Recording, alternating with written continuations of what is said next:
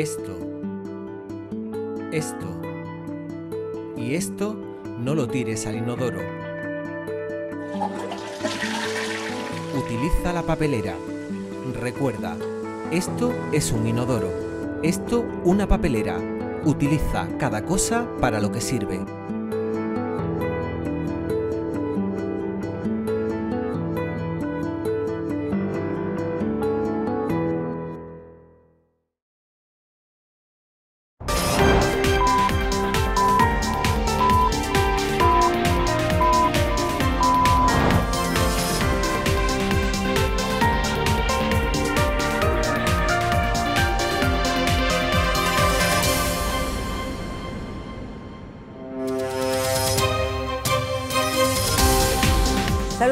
Noches y bienvenidos a este Tarifa Noticias de hoy jueves 26 de enero. Damos comienzo como siempre a nuestro noticiero de hoy avanzándoles en nuestros titulares de cabecera algunas de las noticias que componen este informativo de hoy. Dentro titulares. El concurso provincial de comparsas y chirigotas se celebrará entre los días 6 al 8 de marzo. Hasta el 22 de febrero permanecerá abierto el plazo de inscripción en un certamen de coplas que este año prevé premios de entre los 2.000 y los 700 euros para los mejores clasificados.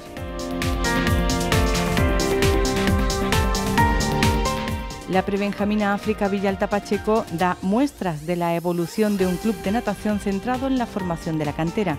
Constancia y regularidad se definen como aptitudes del aprendizaje de la natación que se trasladan a la formación integral de los menores.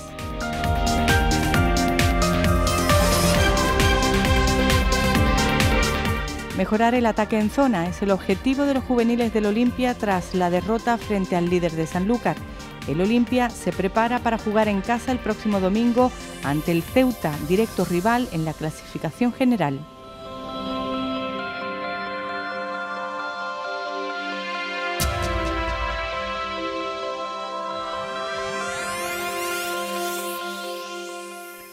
Y comenzamos. Se siguen dando pasos para la celebración del carnaval.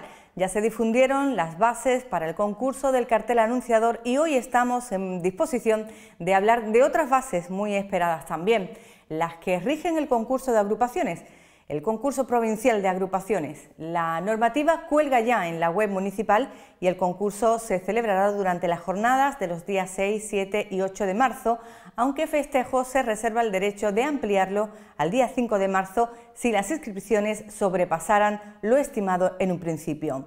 Repasamos algunos detalles de la referida normativa y subrayamos el hecho de que la cuantía de los premios ha subido se han establecido en 2.000 euros para el primer premio, por ejemplo. Las agrupaciones carnavalescas ya pueden inscribirse en el concurso provincial de tarifa. El plazo ha abierto hoy mismo y se prolongará hasta el día 22 de febrero. La hojilla para la inscripción puede desprenderse de las bases que ya cuelgan en la web del Ayuntamiento de Tarifa. Todos los datos, toda la normativa que rige el concurso queda explicada en el documento oficial que ha hecho público la Delegación de Fiestas. Así se fija el calendario, siendo este el certamen provincial para los días 6, 7 y 8 de marzo. Eso sí, Festejos también anuncia que sea posible su ampliación si fuera necesario. En tal caso, el primer día sería el domingo día 5 de marzo. Y después se recogen matices importantes como la cuantía de los premios, que han subido a los 2.000 euros para los primeros premios de chirigota y comparsa, y a los 1.200 de los segundos y los 700 de los terceros. El jurado podría contemplar un accésit premiado con 200 euros si hubiera calidad para ello, así como también declarar desierto algún premio por el mismo motivo. La entrega de estos premios se ha fijado para el día 12 de marzo en un acto festivo y se espera contar con las actuaciones de las agrupaciones ganadoras. Es esta una condición previa para poder recoger el premio. Y existen otras obligaciones para las agrupaciones ganadoras, como es la de actuar también en la noche del pregón que este año es el jueves día 9 de marzo. La organización deja claro en las bases otras complicaciones como la de sancionar a cualquier miembro de agrupación que provoque altercados. Asimismo, los forillos de las agrupaciones deberán acogerse a las normas exigidas por el Consorcio Provincial de Bomberos. El jurado estará compuesto por presidente, secretario y seis vocales que puntuarán las dos modalidades. Y en la última semifinal y la gran final será el secretario quien haga entrega del acta a los medios de comunicación. También dejan claras las bases que inscribirse cuesta 100 euros para cada agrupación. Es una fianza que será devuelta cuando las agrupaciones hagan acto de presencia en el concurso. Y habrá sorteo previo para decidir el orden de actuación y día. Fiestas hará cita previa con este objetivo. Adelantamos hoy un apunte deportivo y dirigimos la atención al Club de Natación Tarifa, en concreto a la progresión de trayectorias como la de la pequeña África Villalta Pacheco. En el reciente trofeo Ciudad de Cádiz se hizo, se hizo con los primeros puestos en los 50 espalda y braza entre nadadores de toda la provincia. La entrenadora del club, Irene Sanguino, y la propia África comparten claves del eh, avance del club. La regularidad y la constancia son claves en los entrenamientos para ir eh, rebajando los cronos. Una nueva cita la tendrán el próximo sábado en la competición que se disputa en la ciudad vecina de Algeciras. Encontramos ayer a África Villalta Pacheco entrenando con el resto de sus compañeros. Esta prebenjamina del club tarifeño está de enhorabuena porque ha conquistado su primer podio de referencia provincial.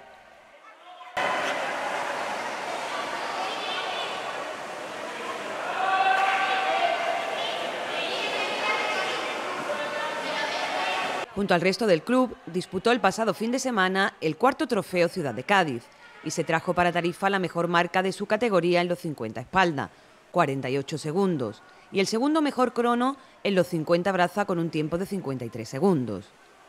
Lo recordaba satisfecha con sus resultados y lanzando una invitación expresa, disfrutar de la natación, un deporte saludable como pocos.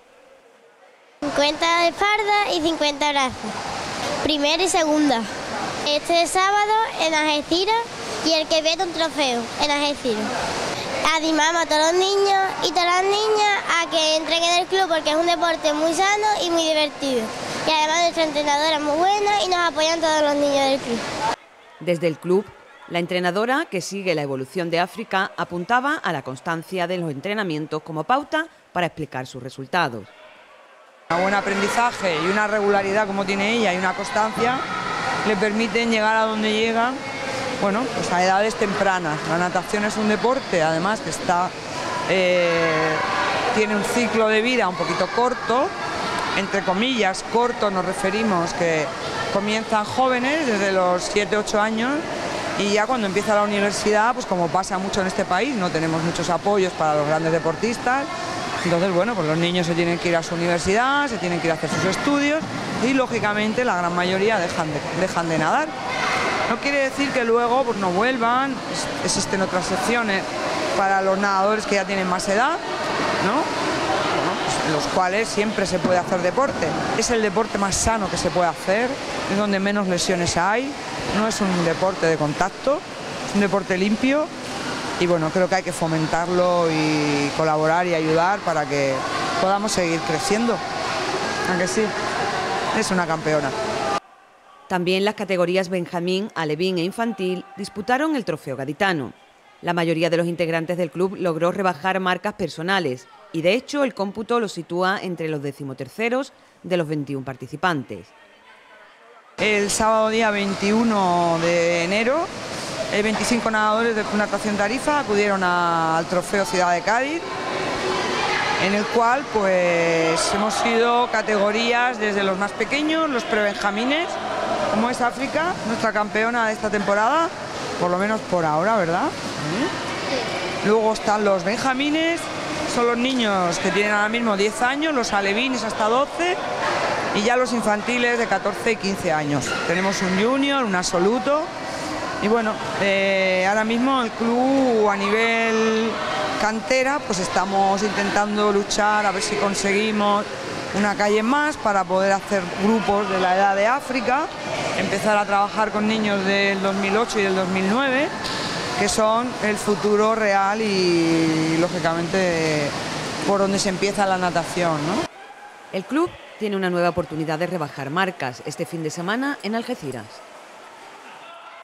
Continuamos. Carlos Jano, de Illana Teatro, nos ha comentado más sobre el espectáculo que traen a Tarifa mañana viernes a las 8 de la tarde en el Alameda Aún quedan entradas y, están, y estas tienen promoción. Además, el espectáculo es para todos los públicos y los cómicos consiguen reírse no solo de la actualidad, de la actual moda de lo culinario, la moda sobre todo lo gastronómico, sino también del absurdo comportamiento de las masas y la sociedad actual. Lo interesante está también en el lenguaje eh, gestual de esta compañía, que siempre tiene a Tarifa como referencia en sus giras. Llevan ya 25 años de trayectoria y siguen siendo todo un reclamo para pasar un buen rato.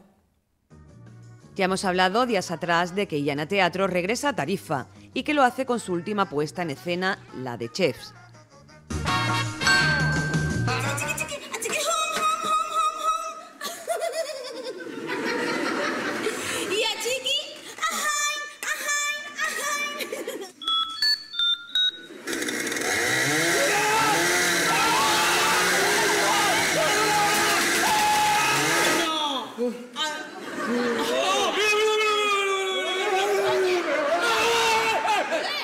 Encuentran la parodia perfecta en la moda por lo culinario, la inclinación hacia lo gastronómico hasta cotas muy sofisticadas.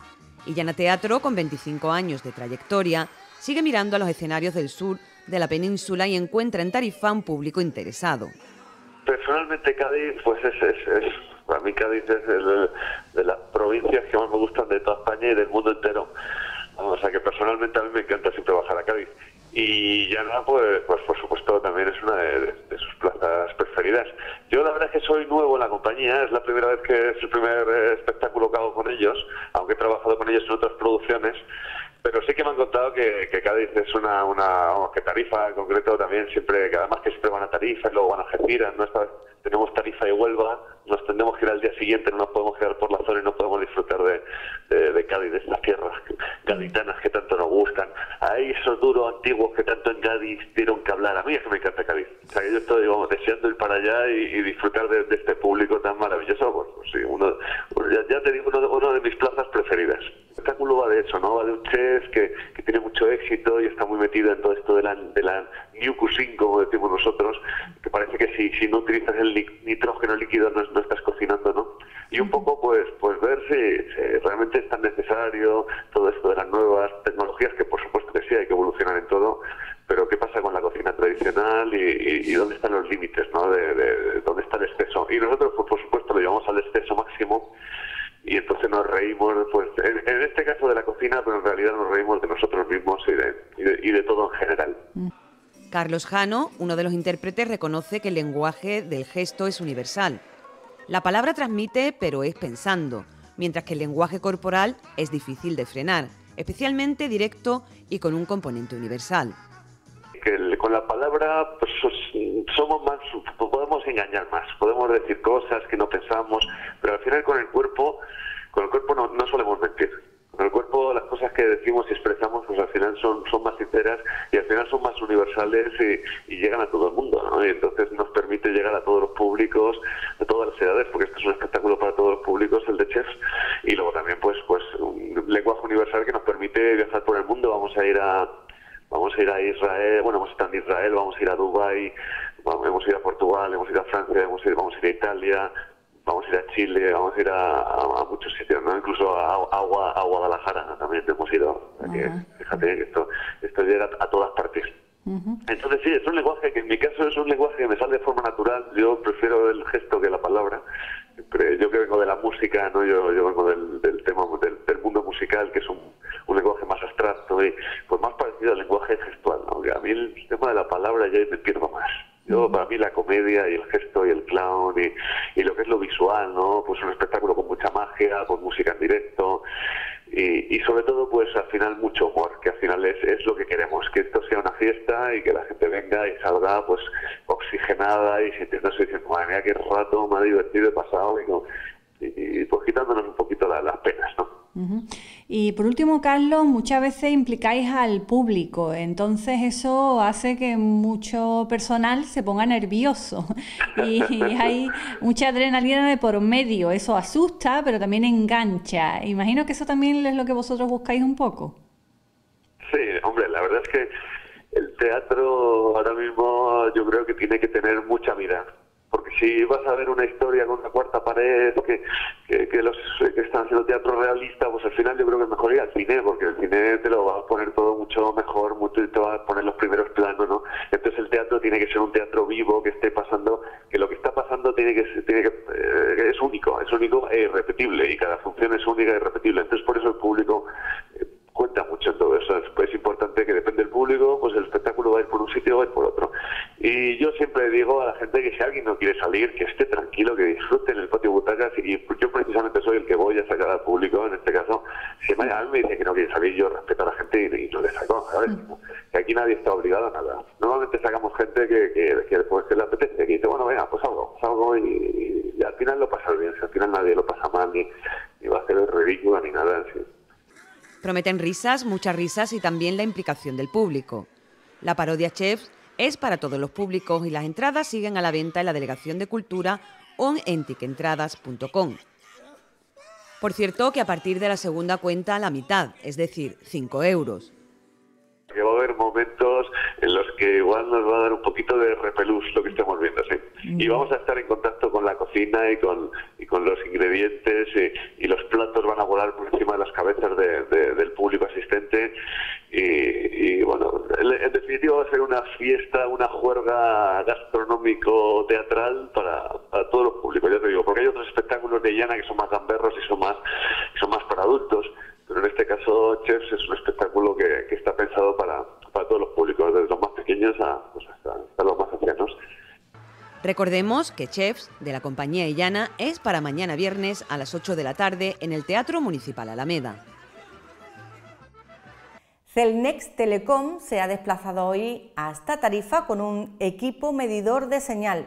Los técnicos se han situado en distintos emplazamientos para comprobar, la potencia en la recepción y también la regularidad de las señales. Se trata de la primera respuesta que la compañía ha dado al Ayuntamiento de Tarifa desde que la Concejalía de Comunicación presentó reclamación formal al hilo de las eh, deficiencias detectadas en la TDT. Son operarios de Celnex Telecom y llegan a Tarifa para comenzar un análisis exhaustivo de lo que sucede con la recepción de la señal de la TDT. Como se sabe, hace menos de una semana que la Concejalía de Comunicación presentó una reclamación formal ante esta empresa, encargada del mantenimiento de la infraestructura. La respuesta ha llegado hoy, cuando los técnicos despliegan medidores en distintas zonas estratégicas de la localidad. Tratan de comprobar la intensidad y calidad de las señales. No solo eso, buscan la incidencia concreta que motiva el que Tarifa quede sin cobertura en días puntuales. Junto a ellos ha estado también el técnico del Ayuntamiento de Tarifa, fuente desde la que se informa que Celnes Telecom ha repasado todos los equipos e incluso ha sustituido las antenas y tarjetas GPS por otras totalmente nuevas. De la misma forma, se han efectuado cortes programados para encontrar el defecto en la emisión de señal y su prolongación en el tiempo. Se busca igualmente someter a una tensión máxima a los equipos disponibles y cambiar así cualquier pieza defectuosa. El informe completo de estas revisiones será entregado a comunicación lo antes posible. Mejorar el ataque en zona para ganar seguridad es lo que trabajan los eh, juniors del baloncesto local después de la ajustada derrota ante el líder de la Liga Provincial, el ADESA 80 de Sanlúcar.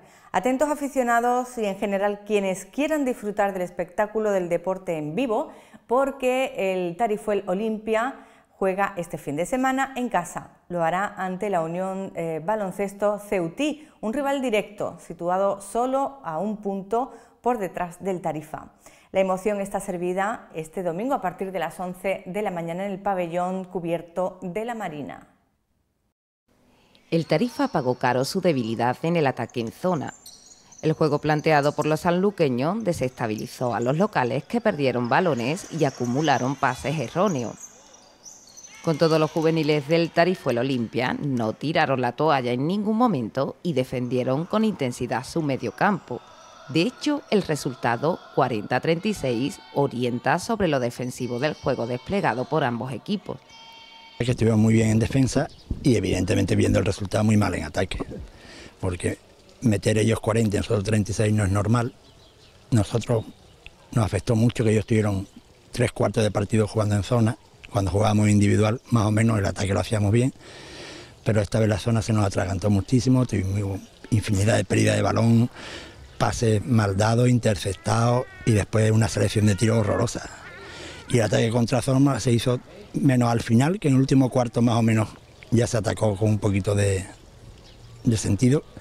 Segundo y tercer cuarto completamente cerrado, sin ideas, muy espeso el juego. Mal, en ataque mal, en ataque mal. No ha perdido ni un solo partido. Aquí se nos escapó vivo por en las últimas jugadas que nos metieron dos triples y allí pues nosotros conseguimos una distancia máxima de siete puntos en nuestro favor. Ellos la recortaron y se fueron de ocho, después nosotros la recortamos hasta tres y así llegamos al final del partido, que nos ganaron por cuatro. Allí fue un toma y daca, que ellos supieron gestionar un poquito mejor los últimos minutos. Nosotros tuvimos dos balones con tres puntos abajo, dos balones de ataque y los dos los perdimos. Y ellos mantuvieron la ventaja, sumada con ya al final va haciendo faltas y anotaron un tiro libre más. Ahora toca trabajar el ataque en zona y memorizar las jugadas de incursión o bien mejorar el tiro a canasta desde el exterior. Son las opciones que ya trabajan porque el rival de la siguiente jornada, la Unión de Baloncesto de Ceuta, combina también marcaje individual y de zona. Será, por cierto, un cruce con más de un aliciente. Solo un punto separan al Tarifa del Ceuta, con 21 y 22 puntos respectivamente, ocupan el quinto y cuarto puesto y aspiran a desbancar a los que se acomoden en los primeros puestos. La suerte para el Tarifa es que el cruce se juega en casa en el polideportivo local el domingo. El Tarifuel Olimpia confía en que las gradas sean efectivamente un aliado. Pues que hay que mejorar el ataque, es lo que estamos insistiendo en, tanto en el entrenamiento del martes como hoy, seguiremos insistiendo en mejorar el ataque, estamos recordando, porque tampoco hay que inventar nada, recordando cómo se ataca una defensa en zona, movimientos que tienen que salir automáticos, que no hay que avisar, sino que ellos tienen que moverse de una manera automática y estamos haciendo eso, un control sobre el ataque en zona, porque sabemos que Ceuta también empezará jugando individual y en cuanto pueda se va a poner en zona y, tenemos que hacerlo bien, porque la zona o se mete tiro de, de fuera o la rompes. Y depende del día que tenga de tiro exterior, pues si te está bien, pues nada, tirar, que no pueda romperla.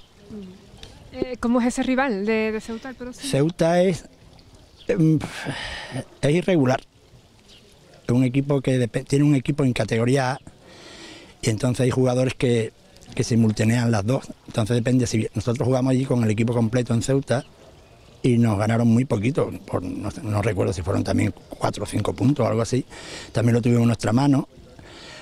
Tenemos la idea de aquí es ganarle. Ellos no, no suelen tener un juego interior muy fuerte. Entonces, pues nuestra idea es potenciar el juego interior nuestro en ataque, que allí lo hicimos bien, reboteamos bien y es la idea nuestra. El peligro de ellos es que salen muy rápido en contraataque. Entonces, que no, no dejarlos coger rebote y, pararle el primer pase. Eso es lo que estamos trabajando ahora mismo.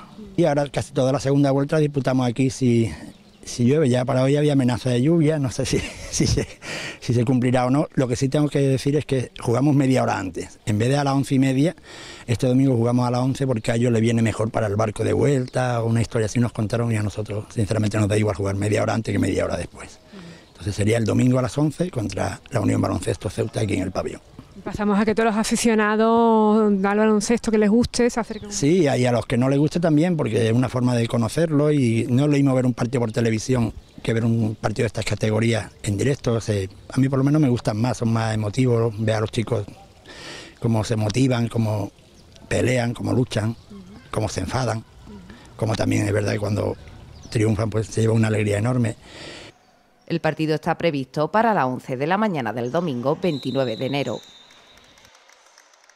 Y ahora nos llegan otras noticias en un formato algo más reducido. Aquellos que hayan gestionado un préstamo hipotecario y puedan verse afectados por la nulidad de las cláusulas suelo tienen una cita de interés mañana viernes 27 de enero a partir de las 6 de la tarde en la Casa de la Cultura.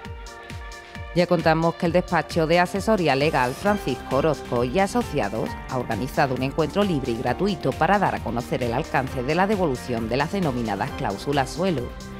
Se trata de una cita orientativa destinada a informar y asesorar sobre los pasos a seguir sobre los posibles afectados. Para agilizar las posibles consultas, se recomienda acudir con la escritura del préstamo hipotecario. A las ondas de la emisora municipal de radio vuelve un espacio de referencia para analizar problemas e inquietudes de la comunidad educativa, padres, docentes y alumnos. Les hablamos de la Escuela de Familias Radiofónica que estrena mañana viernes nueva temporada con el asentismo escolar como temática. El espacio coordinado por Javier Criado, docente y orientador del IES Bailo Claudia y Mariluz Puyol, vuelve a la parrilla de la programación de Radio Tarifa cada 15 días se emite en directo los viernes de 12 y 30 a 13 y 30 horas y también puede seguirse en diferido los lunes de 18 a 19 horas. También tenemos nuestros anuncios publicitarios, un pequeño bloque nos llega a continuación y volvemos enseguida.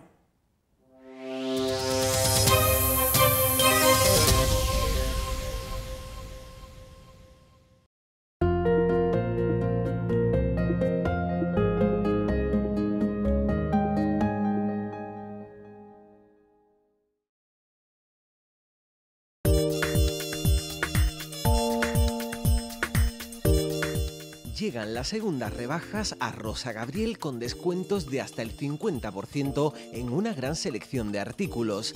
No te las puedes perder. Además, ven y disfruta ya del avance de temporada con todo lo que se llevará esta primavera-verano 2017. Seguro que te encantará. No puedes dejar pasar esta oportunidad porque en Rosa Gabriel ahora te llevas más por menos. En Rosa Gabriel, amar es nuestra razón de ser. Te esperamos en el mercado de abastos y las 24 horas en nuestra web www.rosagabriel.com.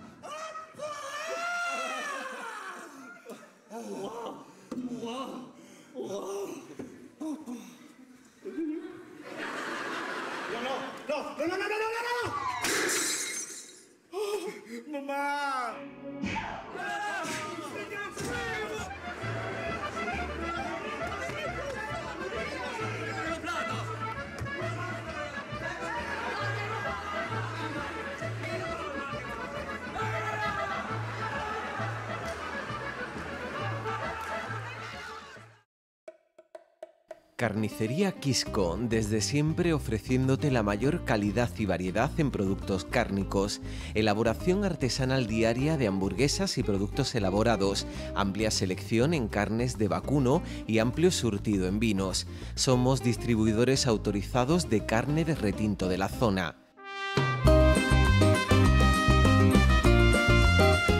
Te esperamos en Carnicería Quisco cada día elaboramos nuestros productos como si los hicieras en casa, con el sabor y calidad que quieres para ti y los tuyos.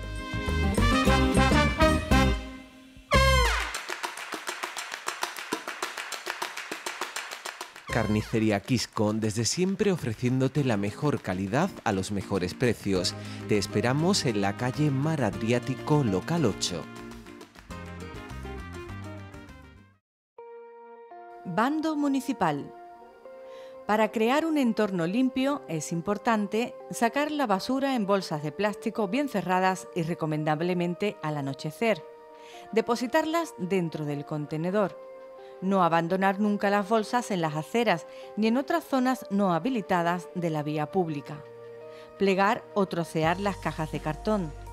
No arrojar basuras en solares, laderas o barrancos se convierten en el alimento de insectos y roedores. La calle es la casa de todos, por lo que el mismo bando municipal recomienda no tirar nada al suelo y utilizar las papeleras. No asumir estas responsabilidades sociales pueden llevar a sanciones económicas. Bando municipal para el cumplimiento de la ordenanza sobre ocupación de la vía pública. Se ruega a los establecimientos de hostelería la recogida de mesas y sillas tras el cierre de los establecimientos, el mantenimiento y decoro de sus fachadas. Se pide colaboración y participación para mantener el tipismo y la limpieza de la ciudad. No cumplir con las recomendaciones anunciadas puede llevar a la retirada de enseres y a la apertura de expediente sancionador.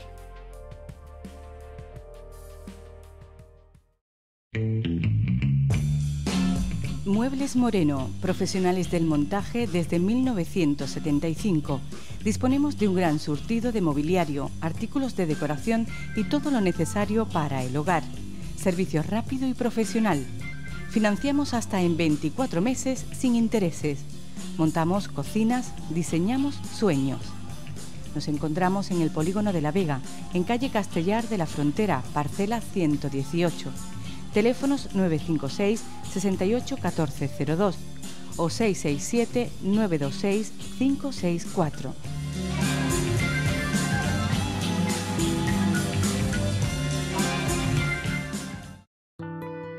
Esto, esto y esto no lo tires al inodoro.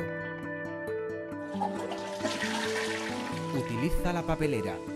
Recuerda, esto es un inodoro. Esto una papelera. Utiliza cada cosa para lo que sirve.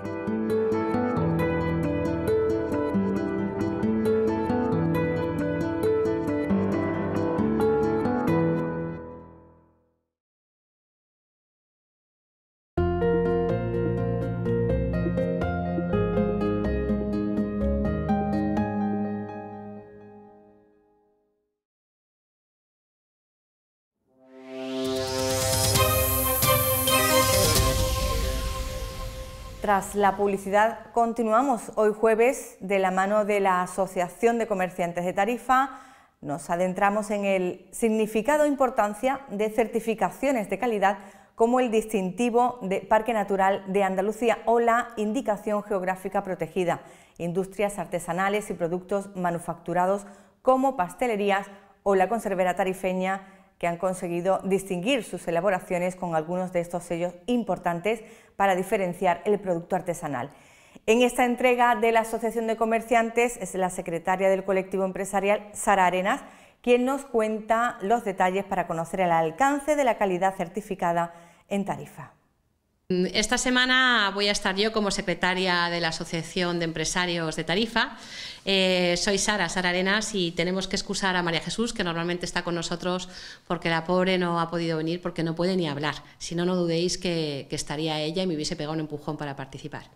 Eh, dentro del programa que tenemos desde la asociación, que vamos tocando temas que creemos de interés, tanto para el capilar empresarial como para la ciudadanía de Tarifa, eh, hoy vamos a tocar un tema que creemos que es de vital importancia y sobre todo muy, muy, muy determinante para el futuro de mucha pequeña empresa y sobre todo del ecosistema y la zona eh, de agricultura, ganadería y pesca de, Tarifa, que es, eh, son los alimentos de la comarca, los alimentos locales producidos eh, desde la tierra, desde el mar, en nuestra localidad y con empresarios y pequeñas empresas que realmente siguen con una cultura artesanal y de calidad para ofrecer los productos de la comarca que en muchos casos son únicos y solamente los encontramos aquí y quizás los tengamos un poco escondidos como los grandes tesoros. ¿no?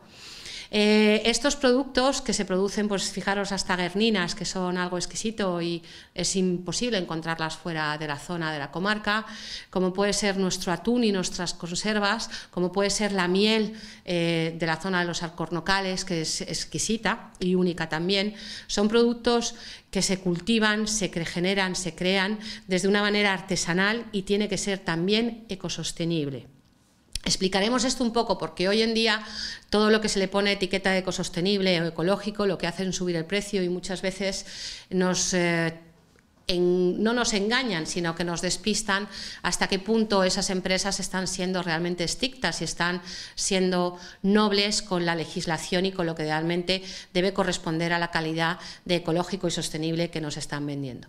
Primero lo que es importante es encontrar eh, las certificaciones de calidad certificada, eso es Unión Europea, eh, cada vez es más obligatorio, cada vez además las empresas no tanto que etiquetan a nivel industrial como puede ser una conserva, como puede ser algún tipo de, producto aviar, como son los huevos, que es obligatorio y tienen que tener un código de barras, que además, eh, aunque sea incomprensible, nos pueden enseñar los comerciantes o las personas que lo vendan o comercien con ello el significado de cada uno, sino los productos de elaboración propia, como puede ser la artesanía pastelera, deben de llevar eh, la indicación de eh, calidad, marca de parque natural, que ahora explicaremos un poco de es, o denominación geográfica protegida, como es esta zona. Tenemos la grandísima suerte de tener una de las mejores huertas que hay en el sur de España, tenemos una calidad, exclusividad por el ecosistema tan sumamente especial que tenemos de mar y montaña y además tenemos todavía eh, muchísima pequeña empresa familiar que ha mantenido una tradición que creo que entre todos deberíamos ayudar a conservar. Si nosotros no potenciamos la artesanía, las pequeñas empresas locales que siguen dedicando los esfuerzos para tener estos productos de primerísima calidad, al final ganarán las grandes marcas que nos nos dan productos masivos que realmente ni tienen el calor, ni la calidad, ni el cariño que se ha puesto en este tipo de productos. De ahí que hay tres grandes certificaciones que nosotros como Parque Natural del Estrecho tenemos, que os voy a contar un poquito, simplemente para que aprendamos a buscarlas y a valorarlas como son y a valorar a las empresas que han conseguido las certificaciones, que de verdad que es muchísimo esfuerzo en muchos casos, pero ya sabéis que todo lo que sea luchar con legislación al final requiere un esfuerzo administrativo importante. Y luego no solamente sino, sino tener unos procesos súper cuidados y muy mantenidos desde la elaboración del producto y la recogida hasta su producción, envasado y puesta en distribución.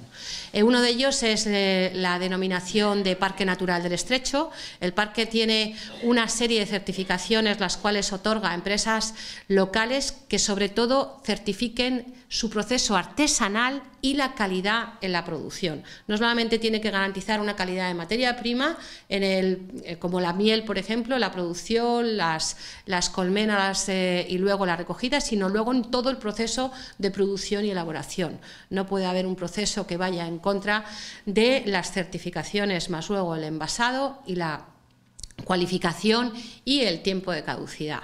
Eh, todo lo que encontréis en producto elaborado con una certificación de parque natural es un producto que ha pasado toda la, toda la certificación oficial y además está elaborado, mantenido y producido en nuestra zona y en el Parque Natural de los Alcorrocales, en este caso. Luego está la denominación protegida del estrecho, que aplicaría, por ejemplo, a la conservera de Tarifa, eh, que en la cual certifica y tiene que pasar muchísimas legislaciones que desde que el pescado ya se trae y es una pesca sostenible completamente, no hecha a nivel masivo, sino hecha con un sistema artesanal o, por ejemplo, como puede ser eh, el arrastre o puede ser otro tipo de, de pescas sostenibles y respetando las cotas de pesca, sino luego también en todo el proceso de elaboración, sin conservantes, con un envasado, con aceites naturales y sin tener ningún tipo de antioxidante que no sea otro que el natural, que es el aceite. Y luego, por otra parte, tenemos también las denominaciones eh, de alta calidad o la denominación protegida europea. Cada vez es más importante si vamos a querer llevar nuestros productos afuera de la comarca y, a mercados que valoran muchísimo estos tipos de productos, como son, por ejemplo, en Norte de Europa, la Unión Europea ya nos pide unas certificaciones homologadas a través de las ISOs o a través de las naciones. Estas etiquetitas, por la del parque natural es muy fácil de identificar, es pequeñita, azul y verde y lleva el parque natural escrito, calidad certificada lo mismo, lleva un archito y sin embargo la europea, como tiene que valer para todos los idiomas de la Unión Europea, acabó siendo un conflicto terrorífico como siempre cuando tenemos que ponernos de acuerdo. Y al final es muy fácil de localizar porque es una etiqueta que va en azul y amarillo y lleva las estrellas de cada país de la Unión Europea. ¿eh? Hay una que es genérica, como podréis encontrar en productos lácteos, podréis encontrar en productos de pescado, podéis encontrar en muchísimas hortalizas de importación y eh, luego hay otros específicos para cada industria.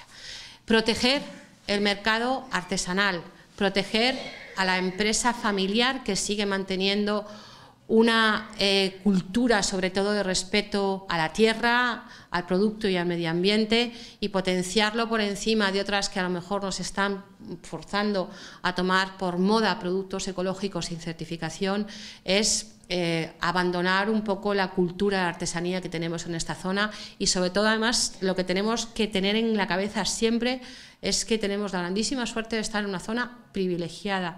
Hay muchísimos productos de elaboración protegida y de protección del campo y del campo natural que no vamos a poder encontrar en ningún otro. Y si no, pues dígaselo a la cabra payollo, vamos a hablar de las taberninas, vamos a hablar de nuestra miel, vamos a hablar de nuestras conservas y vamos a hablar sobre todo de nuestra gastronomía y productos.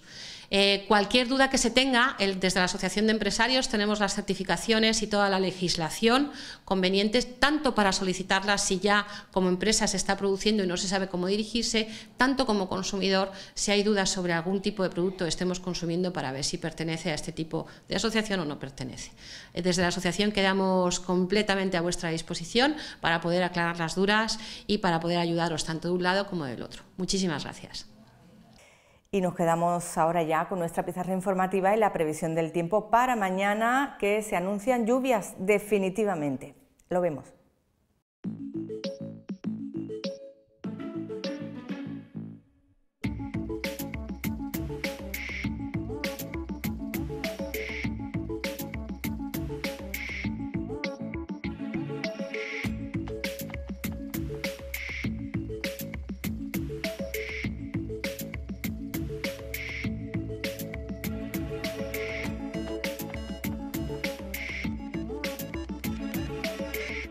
Media Factoring les ofrece la pizarra informativa.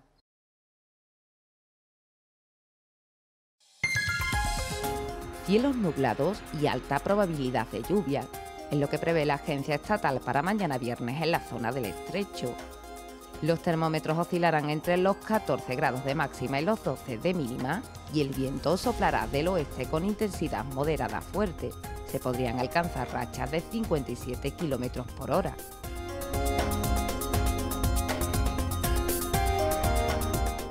Les ofrecemos ahora el horario de las mareas, el número premiado en el cupón de la 11 y la farmacia de guardia.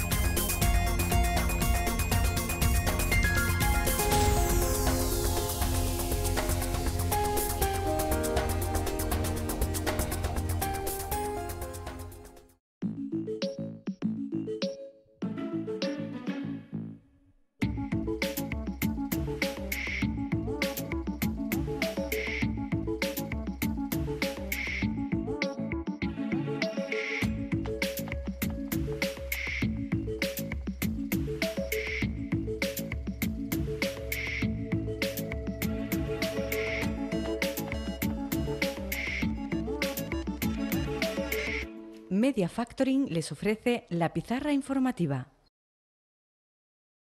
Pues bien, tras nuestra pizarra informativa, como saben, la instantánea de hoy es lo que nos llega a continuación, es de Fernando Rojas, un creativo que sorprende no solo con sus ilustraciones, también como buen ojeador. Consigue así emocionar con instantáneas como las de hoy. Pues muchas gracias Fernando por esta maravillosa imagen y esperamos con interés tu próximo proceso de ilustraciones, así como el motivo inspirador del mismo. Lo dicho, gracias Fernando y nosotros repasamos titulares. El concurso provincial de comparsas y chirigotas se celebrará entre los días 6 al 8 de marzo. Hasta el 22 de febrero permanecerá abierto el plazo de inscripción en un certamen de coplas que este año prevé premios de entre los 2.000 y los 700 euros para los mejores clasificados.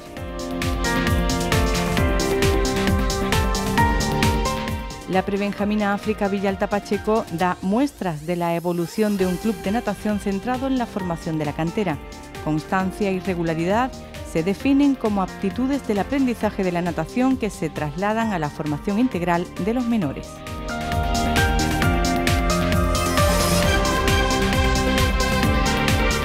Mejorar el ataque en zona es el objetivo de los juveniles del Olimpia tras la derrota frente al líder de Sanlúcar. El Olimpia se prepara para jugar en casa el próximo domingo ante el Ceuta, directo rival en la clasificación general.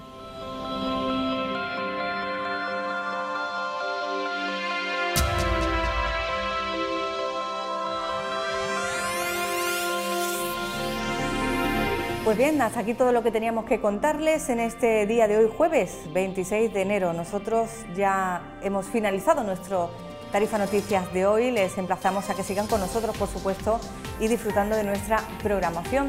Recuerden que mañana estaremos con todos ustedes a las 9 y 30 de la noche con Tarifa Noticias. Y por supuesto, escuchen también Radio Tarifa, emisora municipal, a la 1 de la tarde porque ahí también les ofrecemos eh, toda la información. Sean ustedes felices, buenas noches y hasta mañana. Adiós.